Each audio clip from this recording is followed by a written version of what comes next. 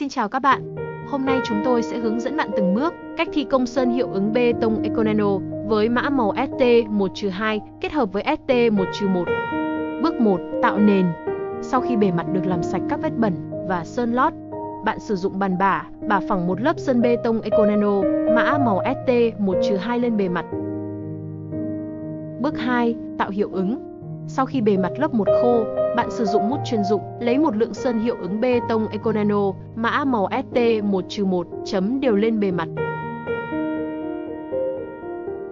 Bạn có thể thay đổi áp lực và góc độ của mút để tạo hiệu ứng khác nhau.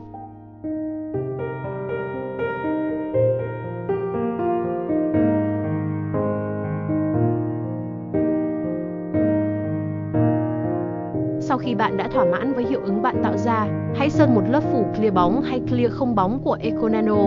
Điều này sẽ bảo vệ cũng như tăng tính bền và chống thấm cho bề mặt. Cảm ơn bạn đã xem và chúc bạn thành công trong dự án của mình.